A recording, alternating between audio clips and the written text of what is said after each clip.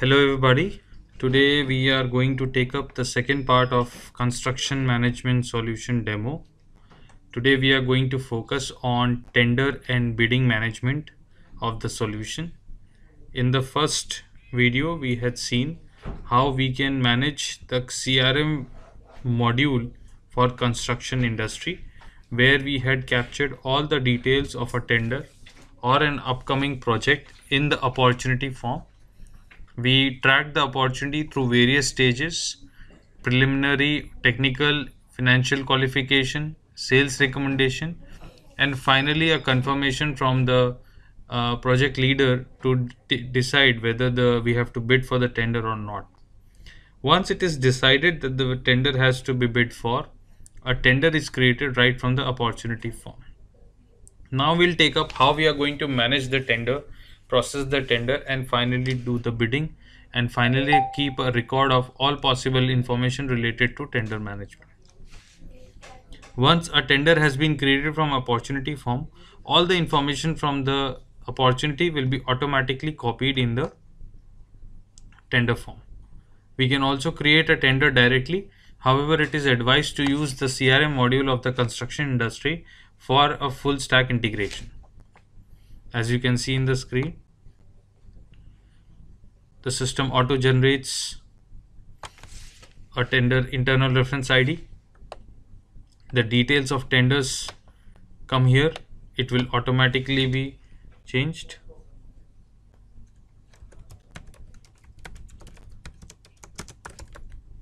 I can revise the information here I can specify the original tender number as published by the agency. I can define the customer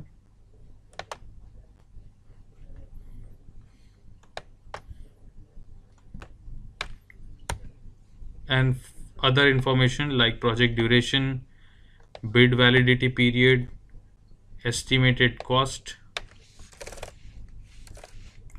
tender fees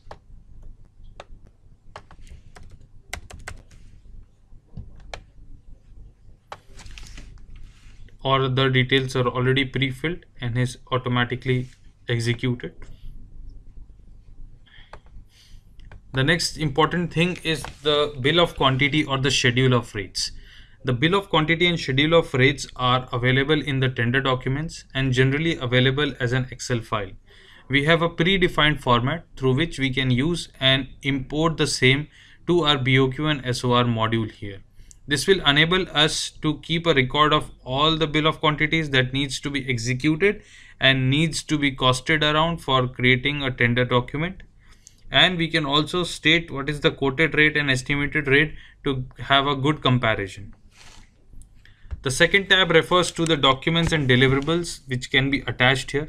The system is open enough to attach any possible documents that you want. Let's take an example. We can define a document type here as per our choice. Predefining tender notification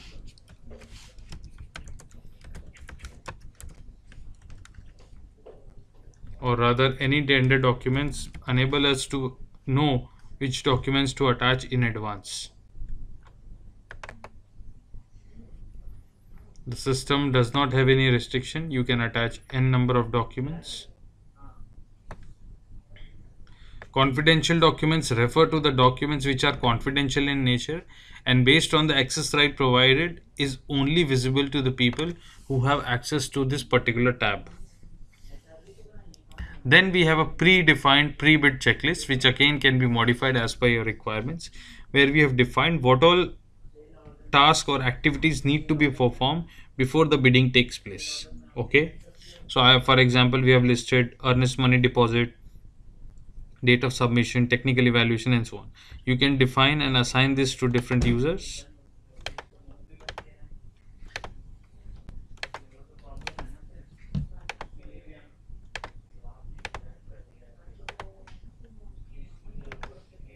you can define different dates.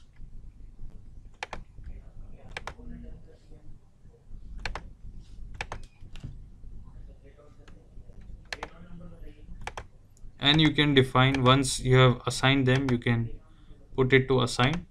As soon as you click on assign and click on save it automatically sends an email to the respective person for this particular task. Okay? And in future as time goes by you can also send reminders from here.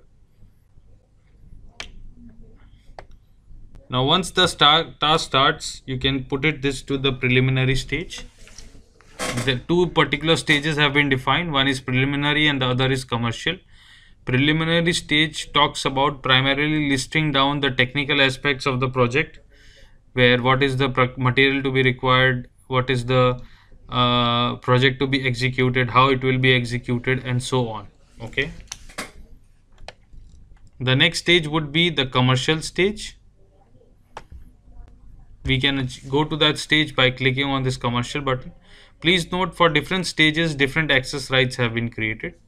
Once this document is ready through the costing sheet where we can upload the costing details and calculate our margin as you can see as an example here. You can send this for approval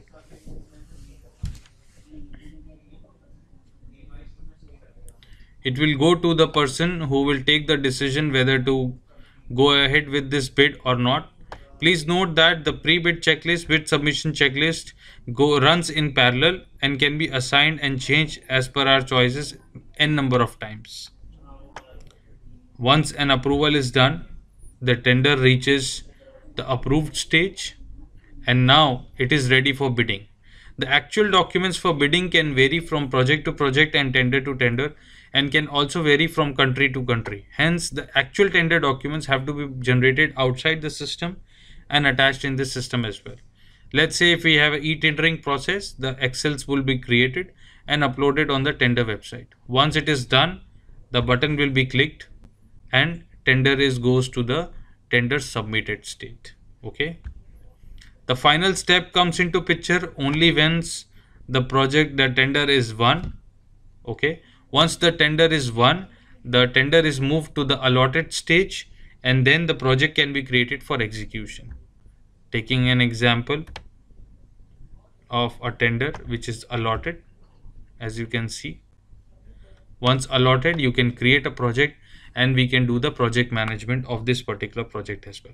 All information is copied here additional features which i have not demonstrated in this video also includes where we would be able to raise a request and create an invoice for the earnest money deposit there could also be cases of bank guarantee we will cover this when we when we manage earnest money deposits, tender fees and bank guarantees in the accounting section of constructions industry CRM demo.